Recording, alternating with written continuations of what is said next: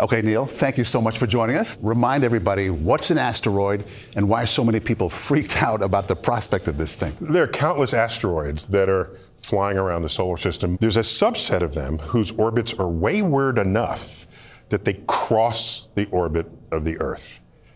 Those are the ones you want to keep track of. Take me through the path of this asteroid, what is expected and projected to be. Oh, yeah. Every four years, there's sort of a close encounter, mm-hmm. but that close encounter was not so bad. 2028. It's the 20.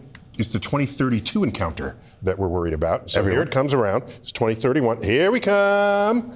Okay, that's the encounter that a few days ago had one of the highest risk factors ever calculated for an asteroid. That's why we were especially worried about this. Over the last several days, we were all participating in checking and monitoring what the risk factor was and what direction it was headed. So it went up and down a couple of times, but the most recent observations have nailed it, and it's now down.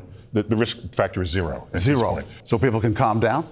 I think so. Okay. Yes, they should calm down. But take it as a warning, as a shot across our bow, that these things are out there and this is not the end of it. Let's talk about the size of this particular one. Sure, All sure. Right? This thing is massive. It's not just a rock, it's a gigantic boulder. Yeah, yeah, it's, it's, it's, huge. It's, you know, almost the size of a football field. There's still uncertainty in its size, but that's about right. Mm-hmm. And if that hit Earth, it would leave a crater almost a mile across. I also found it to be really cool that we could deflect this with technology yes. and prevent it from hitting us directly. We, we always had how we might do that on paper, but we finally did it with the NASA DART mission, Double Asteroid Redirect Test.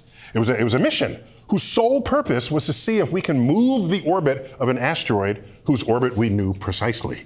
And so we took a spacecraft, slammed it in, that slowed it down in its orbit, and we were able to measure how different its movement was compared with before, and we said, yes, this worked. But there are others out there. Don't just rest and relax, is what, you, what I hear you uh, saying. Correct. So this is a reminder that these things are out there.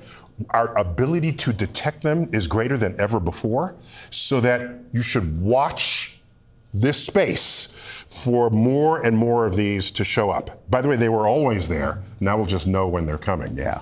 All right. Dr. Tyson, thank you. Yeah. Oh, Appreciate oh, pleasure. It. Thanks so thank much. You.